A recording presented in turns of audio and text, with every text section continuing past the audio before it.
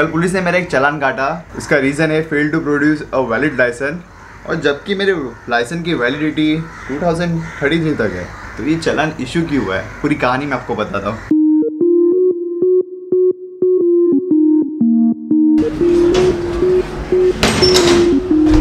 तो welcome back to the channel my lovely YouTube friends and family आज है ईद का दिन 2020 और 2021 की ईद में यही फ़र्क है कि पहले की ईद में स्ट्रिक्ट लॉकडाउन था अभी की ईद में लॉकडाउन ना के बराबर है। लेकिन तभी भी संयम पालना है प्रिकॉशन लेना है।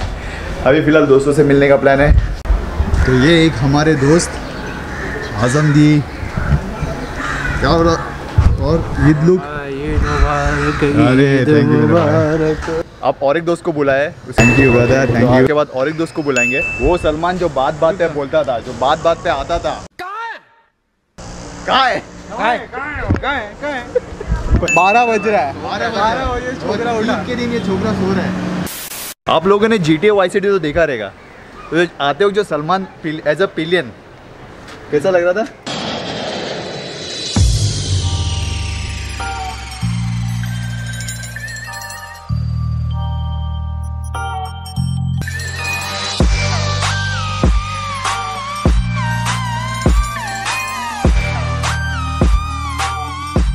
एकदम वाई सिटी के पीछे बैठी हुई बंदी।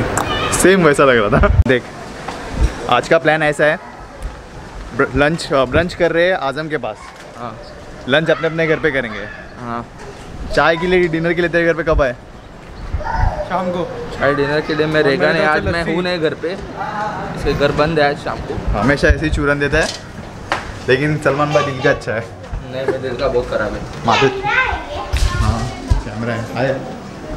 वो एक बजा से धूम मसाले चलते हैं। ब्लॉगर इज़ लाइफ स्टाइल नींद से उठा के लेके आना। नींद से उठा के लेके आए बंदे लोग वो के लिए।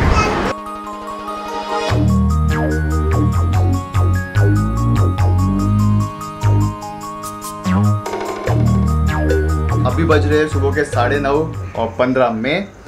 कल का ईद का दिन पूरा अच्छा गया, मैं दोस्तों के साथ था, दोपहर तक दोस्तों के साथ टाइम स्पेंड किया और बाद में मैं घर पे आया। और घर पे आते साथ ही मुझे एक कमिटमेंट याद आया जो मैंने एक को किया था। वो कमिटमेंट मैंने इनको किया था। इनका नाम है नीतीश और इन्होंने मुझे इंस्टाग्राम पे रिक्वेस्ट किया था। ये शायद से साउथ से है तो इनको हिंदी ज़्यादा समझ में नहीं आती मैंने बाइजूस का वीडियो बनाया था तो उसके लिए उन्होंने बोला कि इंग्लिश सब डालोगे तो बहुत अच्छा होगा तो मैंने बोला, ओके, डाल देता हूँ।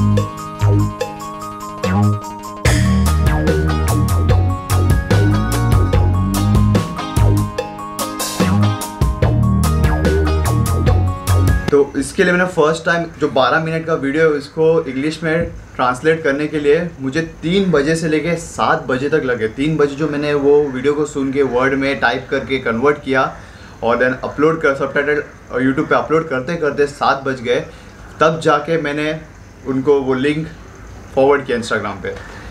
हाँ फ़र्स्ट टाइम ऐसा किया, काफ़ी हैक्टिक था, लेकिन मज़ा भी आया। उसके बाद मैं और बिपिन गए थे कल एक कॉमन दोस्त से मिलने। तो डबल सीट गए थे बाइक पे और कट गया मेरा चलान। और पूरा सीनारी ऐसा है कि हम जब आ रहे थे मिल गए तो हमें पुलिस वाले ने आ रहा है उन्होंने पहले चेक किया कि सब मेरे पास है कि नहीं डॉक्यूमेंट्स लाइसेंस देखा इंश्योरेंस देखा पीयूसी देखा आरसी बुक देखे। देन इन दी एंड उन्होंने बोले कि डबल सीट अलाउड नहीं है, तुम्हें फाइन भरना पड़ेगा। अपना तो वही होता ना पहले मस्का लगाना पड़ता है। हम, अरे साहब जाओ दिया ना काका जाओ दिया ना तो वैसे ही चालू था। तो मैंने भी मस्त मस्का लगाने की कोशिश किया पूरा। जहाँ तक मुझे पता है, मैंने ऐसा सुना नहीं था कि डबल सीट अलाउड नहीं है। तभी भी मैंने, चलो मान लेते, उन्होंने बोल दिए तो। एक चीज़ हमेशा होती है मैं मुंबई में जहाँ पे मुझे पकड़ता ना, अगर कोई पुलिस वाला मुझे मेरा गाँव पूछ लिया ना तुमचा गाँव कुठला तो अगर ऐसा पूछ लिया तो मुझे हमेशा प्रॉबिलिटी बढ़ जाती कि नाइन्टी परसेंट की मैं बच जाऊँगा। तो कल भी ऐसा हुआ कि उन्होंने मेरा गाँव भी पूछा और अच्छे फ्रेंडली तरीके से बात किया। देन पता नहीं अचानक से तो दूसरे वाले ने ना दूसरे पुलिस वाले ने, उन्होंने फ़ोटो खींच लिया। मेरे बाइक का, मेरा नहीं। और फ़ोटो खींचा, चले तो वो बात भी हुई तो उन्होंने बोला, चले जाओ। तो फिर मैं जब घर पे आया और घर पे आने के बाद मैं घर पे कुछ पहुँच गया नौ बजे तक, और उसके बाद जब मैं सोने गया, तब मुझे एक मैसेज आता है। तो ये कुछ इस तरह का मैसेज आता है मुझे साढ़े दस बजे। कि मेरा चलन कट चुका है। दो सौ रुपये का चालान कटा और इस चालान कटने का रीज़न ये था, मैं मुंबई ट्रैफ़िक पुलिस के ऐप पे आपको दिखाता हूँ। Fail to produce a valid driving license लेकिन बात ये है, ये जो चलान कटा है, क्या वो एथिकली सही है टेक्निकली सही है? मेरी अंडरस्टैंडिंग है fail to provide a valid driving license का मतलब तीन केस होता है। पहला केस तो ये कि आपके पास लाइसेंस है और जिसकी एक्सपायरी डेट हो चुकी है। लेकिन मेरा लाइसेंस तो 2033 तक वैलिड है। केस वन मेरे ऊपर एप्लीकेबल नहीं होता है केस टू केस टू ये होता है कि समझो मैं अभी कार चला रहा हूँ, लेकिन मेरे पास लाइसेंस है टू व्हीलर का। तब उस केस में मुझे पकड़ लिया है, तभी भी ये फाइन एप्लीकेबल होता है। तो वो भी तो केस नहीं है।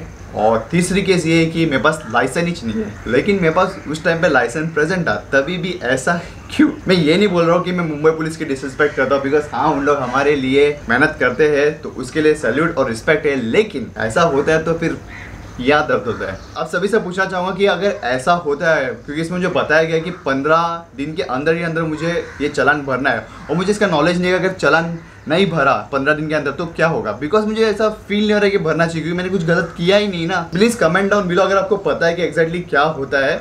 और इसमें एक बात ये भी है कि उस लिंक के अंदर डायरेक्ट पेमेंट का ऑप्शन है। ऐसा कुछ क्वेरी अपन रेज भी नहीं कर सकते कि ऐसा है नहीं, मेरे पास वैलिड लाइसेंस है।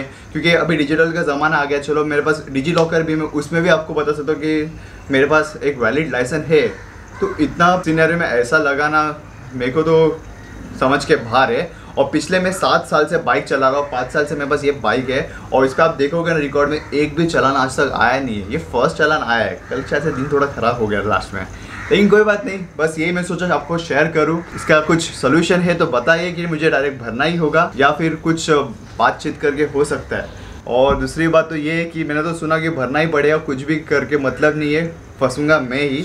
क्योंकि ऐसा कुछ इन्होंने सिस्टम है ही नहीं कि हम हम डिस्कस कर सकते कि ऐसा हुआ नहीं था। क्योंकि ऐसा सिस्टम कहाँ पे है ही नहीं कि मैं अपने आप को प्रूव कर सकता कि मेरे साथ ऐसा मैंने वैलिड लाइसेंस प्रोवाइड किया था। ये ऐप पे आप देखोगे मुंबई ट्रैफ़िक के तो इन्होंने एविडेंस के नाम पे खाली एक इमेज रखा है जो मेरे बाइक का है। और बाय दी वे एविडेंस तो कुछ ऐसा होना चाहिए ना फोटोग्राफ ये मेरी बाइक है, ये मैं खड़ा हूँ यू आर के पोज में और यहाँ पे बैनर पे लिखा है I don't have a valid driving license को एविडेंस बोलेंगे ना, ये बाइक के फ़ोटो को नहीं बोल सकते। यही था आज का ब्लॉग और मिलते हैं किसी ऐसे ब्लॉग में। Till then take care bye